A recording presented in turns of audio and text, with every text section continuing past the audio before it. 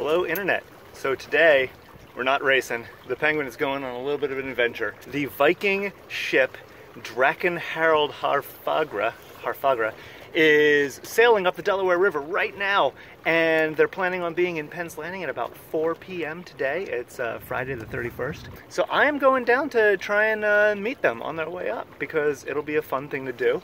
Uh, it is an incredible, historic, one-of-a-kind vessel. It's the biggest Viking ship uh, operating in the world. Uh, my very nerdly upbringing uh, had me very enthusiastic about Vikings, kind of still am. And uh, of course, I'm pretty enthusiastic about boats. So uh, yeah, it's kind of the best of both worlds for my nerdy little heart. I have got a Viking shield strapped onto the side of the boat because of course I do. Yeah, we're going pretty much dead downwind right now from Riverton Yacht Club, which is right there behind me. I just took off, and we're gonna uh, go uh, go see a Viking boat. It's starting to rain. Uh, I'm prepared. I've got my, my cheap yellow rain gear ready to go uh, if it comes to that. I'll be checking in once in a while to uh, tell you all about the Viking boat. All right, that's it. So what we're seeing here is the Tacony Palmyra Bridge. It's the first bridge just to the uh, downriver side of the Riverton Yacht Club. It's about a mile away from the club, and that's where we are. If you live in the Philadelphia area and you ever listen to a uh, traffic report and they say, and traffic is a giant mess pretty much everywhere because there's an opening on the Tacony Palmyra Bridge, is because cargo ships got to pass that little gap right there. Two halves both go up uh, we get commercial traffic cruises through here pretty often, so uh, it snags everything up. And I thought maybe uh, if you're from the area, or even if you're not, you'd like to see the bridge from a slightly different perspective because it's kind of neat. Neat enough that a local uh, brewery uses it as their logo. Uh, Double Nickel is a brand new brewery, well, new-ish brewery in uh, in the area. Just such a distinctive bridge that they decided to use a little piece of local landmark for their for their packaging. We're coming up down there on the Betsy Ross and the Delair Railroad Bridge, and we'll probably get a close view of those too as we go under. So the rain has stopped, that's cool, and the wind has picked up, that's even cooler. And we are right uh, just a bit upriver of the Betsy Ross Bridge and the Delair Railroad Bridge. Betsy Ross is Route 90, goes into uh, the northeast-ish part of Philly and dumps right onto Interstate 95 on the Philly side. And then the Delair Railroad Bridge is both used by cargo trains and New Jersey Transit to get from Atlantic City all the way up over the river through North Philly uh, into 30th Street Station and beyond. So it's really fun when a uh, train goes over that because it is all rumbly and crazy. Between these two bridges is a little public uh, boat launch that I used to sail my O'Day Javelin out of. My wife and I, uh, she was my girlfriend at the time, we got stuck with no motor in our little 14 foot Javelin for about six, seven hours just battling wind and tide. We were a hundred yards from the uh, from the ramp, but we just couldn't get there, and it was uh, it was kind of miserable, but we survived. And uh, she uh, decided to marry me a couple years later. So uh, yeah, she's a keeper. We're probably three miles from Riverton now. There's the Tacony Palmyra, and about a mile past that is Riverton Yacht Club. And so we're we're cruising along and headed to Philly. Here we go. There's a CSX uh, cargo uh, freight train going over the Delair Railroad Bridge right now just chugging along nice and slow, being all huge and rumbly. It's kind of cool to, uh, to watch that happen. When the trains aren't going and the ships are coming through, that whole span right there between those two towers lifts straight up. It's a lift bridge rather than like a bascule or a swing bridge. It's uh, pretty neat to see in operation. But yeah, probably not today since there's a big old train on it. Check this thing out. The locomotives have already passed uh, the entire bridge. They're over on the other side. And all the way along the bridge, we can't see the back end of this train. it is uh, a whole lot of stuff getting hauled. There's some liquid containers, there's some box cars. I think I saw a flatbed up there. Just all kinds of stuff. And they're moving that uh, east towards Jersey. Not sure where. Off they go. Another nutty thing about the Delair Bridge is that there's a lift here and there's an old swing right there.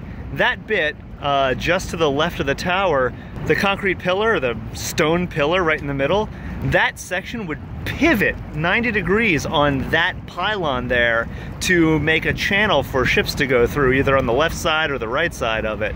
But I guess it got too narrow for the uh, ships of the day, so they put in the concrete piers here and here, and then the lift bridge so that uh, they could get big new ships up the Delaware to Trenton and Burlington. Oh yeah, that right there used to be a swing bridge. And here comes New Jersey Transit.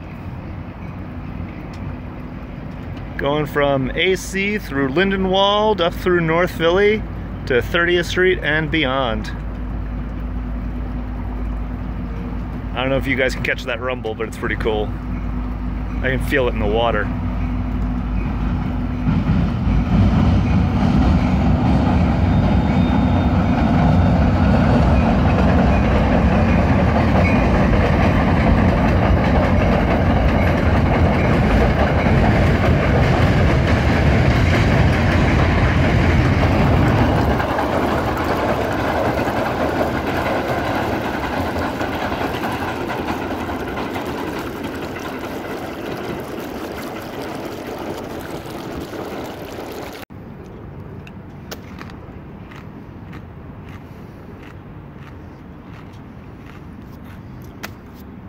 the wind's coming from there and the bridges block it. So uh, usually takes a while to get out from under the bridge's shadow. That means really slow going up until uh, we get out of the shadow and get some good clean air coming from over there again. It'll happen. Just takes a while. I'm having some chips. So we're at the water department's uh, loading facility that's uh, the Recycler, which is a barge. It's being hip-towed by Grape Ape there. Uh, pretty sure water department, their barges are uh, hauling, well, um, sludge. Let's say sludge of a biological uh, origin. Good times. Glad I'm upwind. Check out this guy, Grape Ape.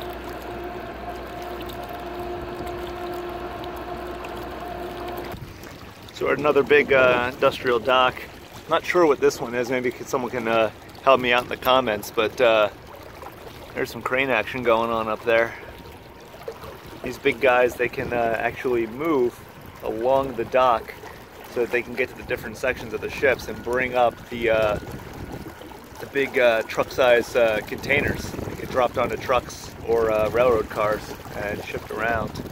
Um, but yeah, there's one there one up there, and there's actually a uh, cargo ship up there getting ready to uh, on or offload. We'll get a closer look when we get uh, when we get up there a bit. So there's Saga Fantasy. That is a wide vessel. Looks pretty long. And it looks like she's actually packing her own cranes along with her, which is uh, neat. I don't know if I've ever seen anything like that up here on the Delaware like I don't take a whole lot of note of uh, the commercial uh, vessels. I didn't up until I started following the uh, Delaware River shipping uh, channel on uh, Facebook.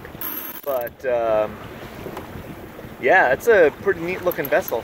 I'm gonna get a little bit closer, see what is going on there. Looks like her uh, decks might be un like folded up so that the the whole container inside is open we'll uh, we'll get closer. We'll take another look. So yeah, it's not even a folded up uh, uh, deck cover. There's some kind of fabric hanging between the uh, sections of. I think yeah, it's a it's a big old crane that lives. Uh, there's one there and one there. They got like this fabric that's rolled down. I guess that they could get down to the inside of the uh, ship, and it looks like those things roll. Yeah, they go. Uh, looks like they move forward and aft, and uh, I bet you those are big covers that pop on and off of different sections that are marked here on the hull, six, seven, eight. That is pretty cool. The guys up on deck are waving, that's cool. But yeah, I have never seen a ship configured like that. That is really cool. I'm glad I got out here to see it. We're sucking some wake off of some uh, uh, recreational power boats. That's fun. But yeah, this looks like a pretty uh, nice new ship. Gorgeous. Yeah, there's one of the cranes going down. That's excellent. There's our flags. I see a Chinese flag. Oh, Hong Kong. So I see a Chinese flag and what I think is a Hong Kong flag. Saga Fantasy is uh, flagged in Hong Kong. That is pretty cool. What we're seeing over here, from that end back to that end, is Petty Island. I could do a whole 15 minute video just about the crazy, wacky history of Petty Island. Short version is it was like the Mos Eisley spaceport of the Delaware River. It was just scum and villainy. It was nothing but like gambling and pirates and thieves and brothels and it was just like bad news place. Uh, local lore says that Blackbeard uh, would come up and visit Philly and he would anchor off of Petty Island. It is covered in uh, what eventually became shipwrecks because they would uh, take old warships and just throw them up on the uh, on the shore of Petty Island and just let them rot.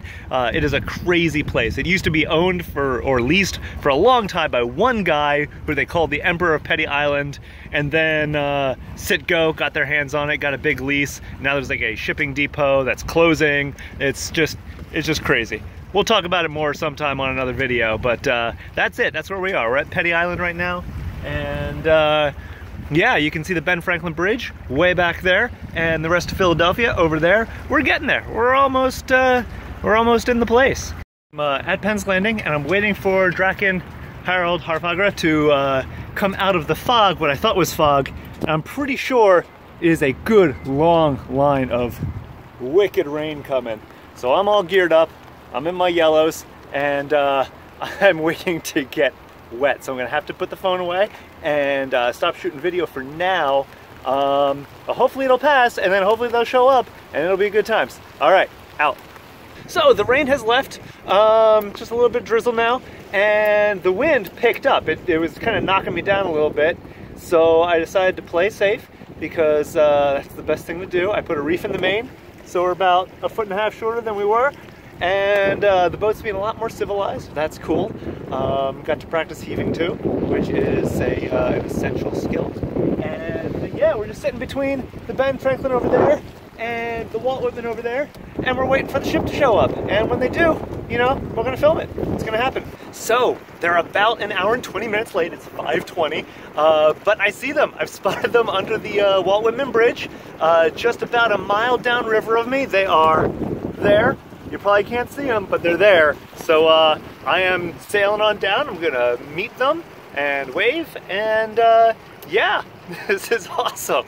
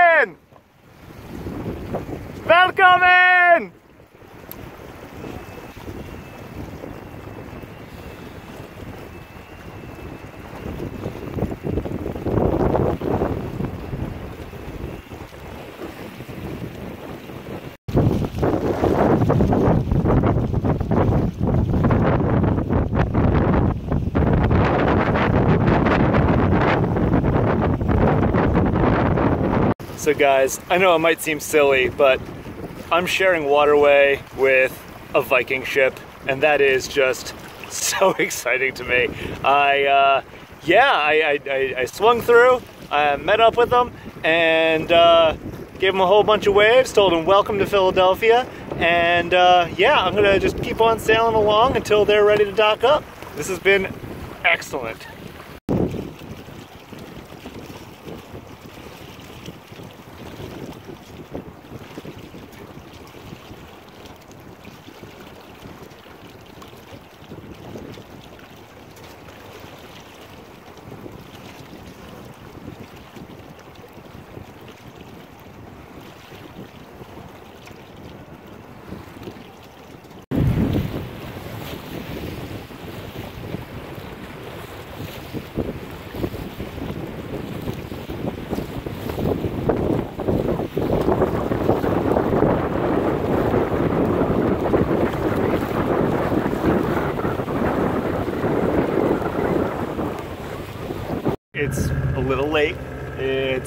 About 10 after 7. And uh, I'm on my way home. I'm motoring uh, just because the tide is in my face, the wind is right in my face, and I did enough fighting on my way down to Penn's Landing. I'm not going to fight my way back. Um, I like sailing, but I'm not dumb. I'd be out here till midnight if I decided to sail this. So, uh, yeah, I'm under the motor and I'm cruising on along.